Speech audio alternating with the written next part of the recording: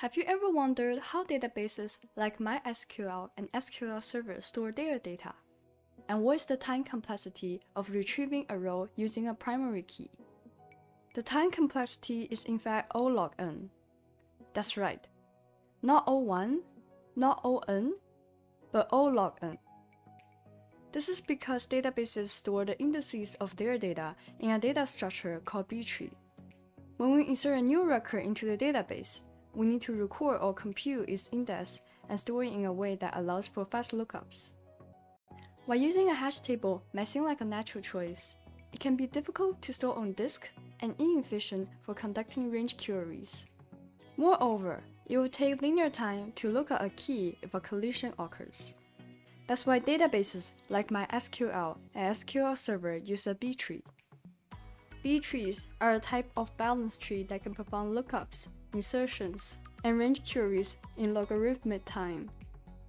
Unlike binary search trees, B trees can have multiple branches, up to n branches for an n-order B tree, and each node in the tree is a fixed-size data page generated from the database.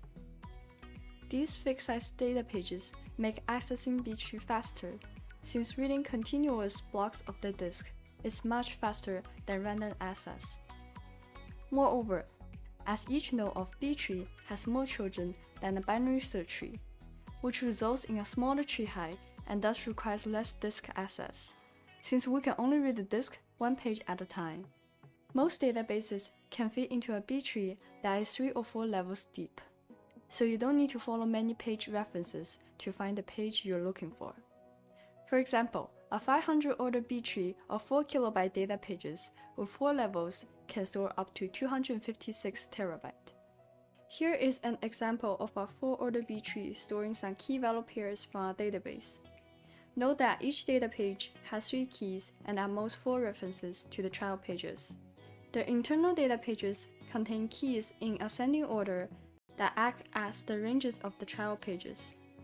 For example, if a reference locates between keys 100 and 200, then all keys in the reference child page should be greater than 100 and less than 200.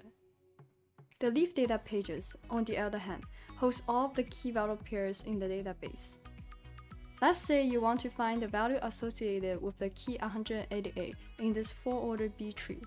We start the search process from the root by identifying the key range that 188 falls into.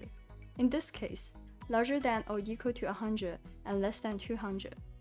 From here, the current root node follows the page reference to the trial node, and we can again narrow our search range to larger than or equal to 175. This process continues until we reach the leaf of the tree, where the key 188 is finally found with its value.